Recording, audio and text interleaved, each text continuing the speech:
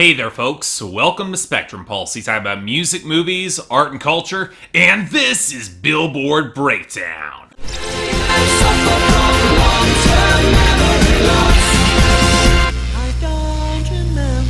So I can't be the only one who thinks that the charts are a little bit unstable right now, am I? Now the summer lull has faded for good, we might not have gotten that many new songs this week, but doesn't shake the feeling that it's only a matter of time before everything's gonna get thrown into chaos. Keep in mind that we still have a solid 14 weeks left of the Billboard year. There are songs that could debut in the next couple weeks that could make that year-end list, and if they debut higher on the charts, they'll need even less time. And really, the time is ripe for some of those debuts, because we got a pretty weak top 10 right now. Sure, Cheap Thrills by Sia featuring Sean Paul has the top spot for another week, somehow, thanks to dominating airplay and solid enough sales and streaming, but it's not incredibly dominant in either sales or streaming. One Dance by Drake featuring Kyla and Wizkid went back to number two thanks to streaming dominance, even as both sales and airplay have continued to fall off. And this is what you came for by Calvin Harris featuring Rihanna isn't that far behind thanks to massive YouTube and airplay, although sales and streaming took some considerable hits. The big sales leader continues to be Can't Stop the Feeling by Justin Timberlake at number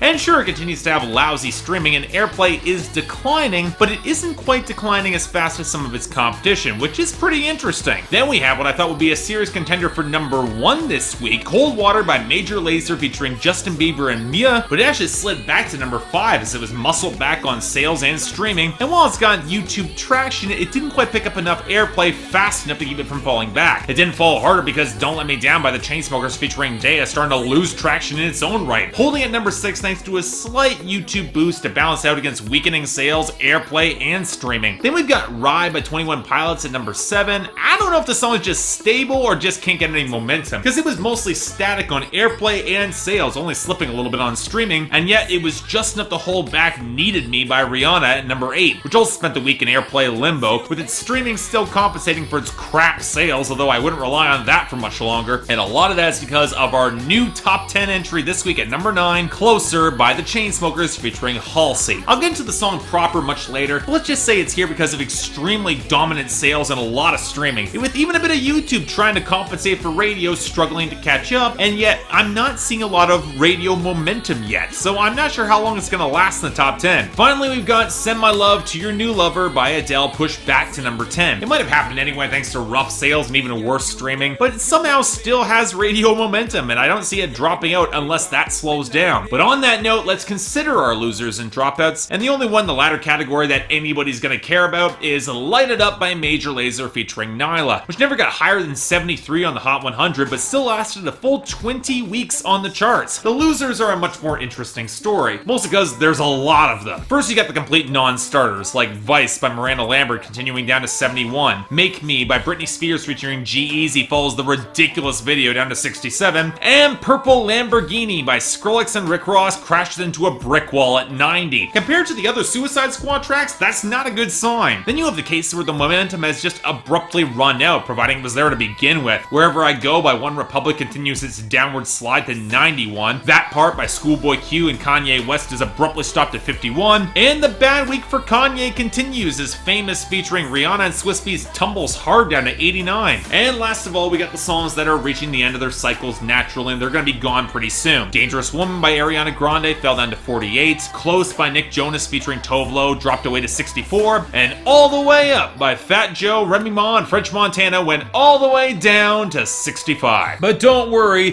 fan of French Montana, he's easily one of the two big stories when it comes to our gains and returning entries this week, because thanks to the video, he and Drake took no shopping up to 36. Okay, at some point, can somebody just ether Drake and be done with it? Kendrick, Eminem, I don't care who at this point, because this is getting past the point of overexposure, and it's now it's just getting obnoxious, especially with every single lazy guest verse that Drake seems to be getting worse. Thankfully, most of the rest of our gains are a lot more tolerable, with probably the worst being Sucker for Pain by Lil Wayne and his posse, which got the boost from Suicide Squad. Outside of that, well, Father Stretch My Hands Part 1 by Kanye and Kid Cudi got a bit of a boost to 83 off the re-entry. American Country Love Song by Jake Owen picks up momentum after his album dropped up to 56, and This Girl by Kungs vs. Cooking on Three Burners got a welcome boost up to 77 off its debut, which is a good sign. Most welcome at all, Lush Life by Zara Larsson came back bigger than ever to 75. Might be a tad too late to gain much momentum during the summer, as I'm not seeing a lot of traction on the radio, but hey, we can hope, right? The song's really good. And since we've got another sparse week of new arrivals, so in the spirit of two previous world hits doing pretty well, let's break out another, shall we? Take off your clothes, blow the fire. Don't be so shy. You're right, you're right. My clothes. Oh, bless me, Father. Don't ask me why. You're right, you're right. Okay, so normally you can predict a song's crossover potential in the United States by the UK or Canada getting the song first. And yet, this song strangely seems to have made no traction on either chart. It's gone to number one in four countries across Europe, and yet it hasn't picked up greater momentum elsewhere. And trust me, when you've seen what's bubbling up just beneath the Hot 100, you'd be praying for a song like this, because it's easily one of the most sleek and potent surefire smashes I've heard in a long time. First, a little bit of background. Imany is a French pop artist who made a pretty solid splash five years ago with her debut album, but it was a splash that didn't quite leave Europe. And even this track took a well-timed remix to blow after getting released last year, but I'm so thrilled it did. The sandy tropical percussion plays well off against the tight low synth and the sharp beat, and that horn-like melody between verses really does stick in your head pretty well. But Imany is the real star here, underplaying her lower range to intensify the sensuality that comes as the mix drops out to get let her just command it. Sure, the lyrics aren't more than a set of directions to just get naked and make love, but with that slight trembling warble in Imany's vocals, it feels all the more intense. You don't need more than that. So yeah, this song absolutely rules. Please let it cross over to the States. We could really use some quality right now. And on that note, our new arrivals, starting off with number 97, Chill Bill by Rob Stone featuring Jay Davis and Spooks. I got some but no money, babe, buy me a Fiji. She said you need a job, bitch, fuck a job, I still get cheese. So, Oh, another week on Billboard Breakdown, another mediocre, interchangeable, soon to be forgotten trap banger. Except this time, there might actually be something here. Of course, the most obvious component is that whistle, originally sampled from a 1968 film score composed by Bernard Herrmann, who worked with Hitchcock, and that sample was done by Tarantino for Kill Bill, before being resampled by dozens of other people. And really, that whistle does make the song stick in the brain probably more than any of the three rappers or the bog standard trap beat does. Now, that's not saying that San Diego rapper Rob Stone or his posse are precisely bad. Their bars at least connect. I appreciate the references of ditching lean for weed, even if Jay Davis doesn't really follow suit with it. And Spooks easily steals the show with his most well-connected bars, but overall, it feels a little bit maybe too low-key to really catch on or go further. I definitely take this over the most of the terrible hip-hop we got clogging up the radio right now, but not by much. Number 96, Starving by Hailee Steinfeld and Grey featuring Zedd.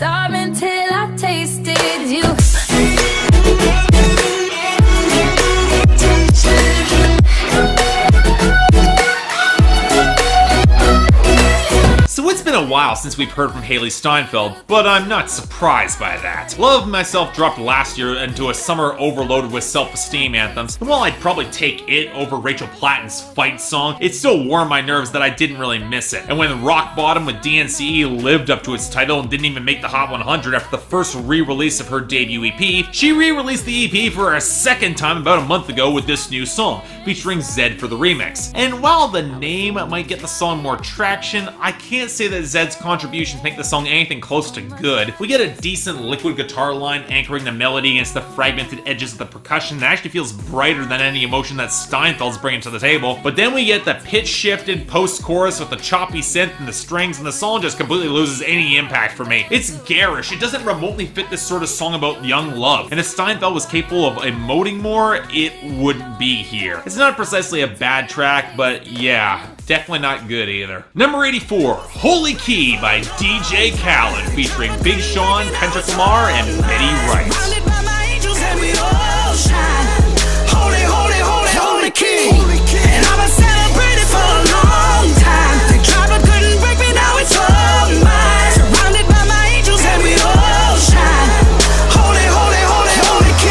You know, of all the DJ Khaled songs to break after Major Key, this is the best thus far by a mile. The blurry guitars, they don't really have the depth to mesh well with a thinner trap beat, and no, I don't really like Big Sean, but I will admit his verse is much better than average, even if there are moments of clumsiness as he tries to get more conscious, and a few ridiculous bars as he tries to prolong his life. He even says he's gonna get vegan for that. But the second that Betty Wright brings in her full-throated powerhouse of a voice to play lead to Kendrick Lamar, look, it's like what happened with Control three years ago. They aren't even in the same ballpark here. Kendrick's verse is layered, ridiculously well crafted, and while it features his constant struggle between spiritual transcendence and a world that would seek to drag him back, especially the music industry that would try to contort his message, the sentiment is that Kendrick, if he wants to rule hip hop, he will remain trapped in that matrix. It's a pretty powerful dichotomy there. Yeah, the song was solid back when I covered it last week when I reviewed Major Key. It's just as solid now. Perhaps just not the most pop-ready track, and I don't expect it to stick around if Do You Mind starts picking up any traction. It's in the bubbling under, it might show up. But you know what?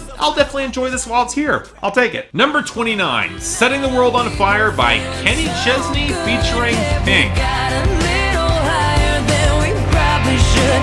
We were in a hotel singing in the hallway lights. We were striking the matches right down to the ashes, setting the world on fire.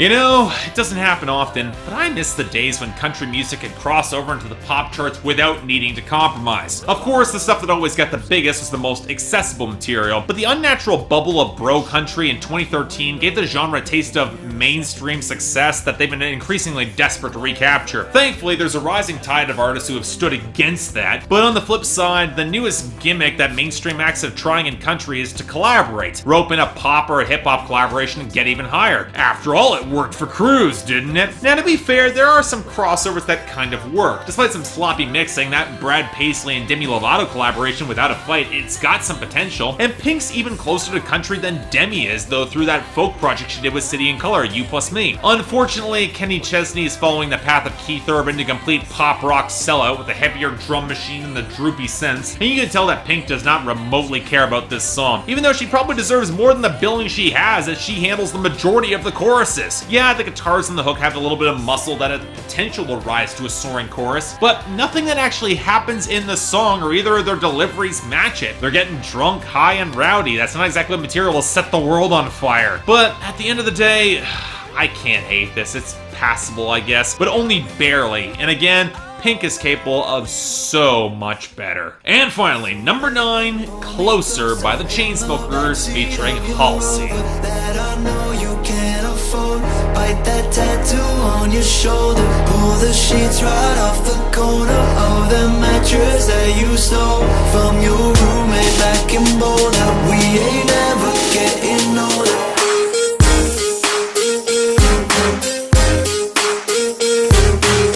2016 has been a really good year for the Chainsmokers on the charts, with this song being their third top 10 hit. But they're also developing a bit of reputation for taking otherwise disposable pop artists and getting better than expected performances out of them. Rozes would not have gotten any traction on the radio without her titular track, and Don't Let Me Down was easily the best thing that Daya has ever done. So now the Chainsmokers are taking on an even bigger challenge, Halsey, who only becomes interesting when her songs are atrocious. She is behind that absolutely humiliating disaster of a song, New Americana, which remains one of the worst written songs I've ever covered on Billboard Breakdown. In other words, the Chainsmokers, they had their work cut out for them. And yet, I'm not sure that Halsey would needed to be the issue here. She's a non-presence on the song as the Chainsmokers themselves decided to step up in front of the microphone, and man, I'm not sure this was a good idea. Well, it's because Andrew Taggart's vocals are just as thin, especially when they layer in the falsetto over the main chorus, it just gets really shrill. Not helped at all by that oily synth tone that repeats the same melody line from the cushion of chimes, snaps, and cymbal-heavy percussion. Yeah, the piano playing counter melody, it's pretty, but I really want to dig into the lyrics here, because there's a fair bit going on as this is intended as a song for a hookup with an ex that you run into randomly at a hotel bar. And there have been plenty of songs that kind of play in this territory, but midway through the track, you get the feeling that the Chainsmokers are also trying to wedge in some social commentary commentary about spoiled girls faking the broke college life along the lines of what Pulp did 20 years ago, well, and did it a lot better with common people. But the framing is what completely throws the song out of whack for me. It's a song where the hook is trying to recapture that moment in time where they thought that they could live forever, but every single detail around is needling this girl with how inauthentic and spoiled that she is. And worse still, she's taking all of it because she was the insane one for leaving this guy. And for as much as the writers say that they were intending for a vaguely comedic tone as they realize all the reasons why they broke up in the first place, well, just like Selfie, there's no punchline here, there's no deeper insight, and instead rings as the sort of the revenge fantasy about getting dumped by a rich girl in college when she just comes crawling back years later. And you know what? There's a place for those sort of songs. Avril Lavigne's Skater Boy is easily the biggest example, but though I'd throw in Lone Star by Lori McKenna, but adding in Halsey in, it undercuts the vicious catharsis and just feels kind of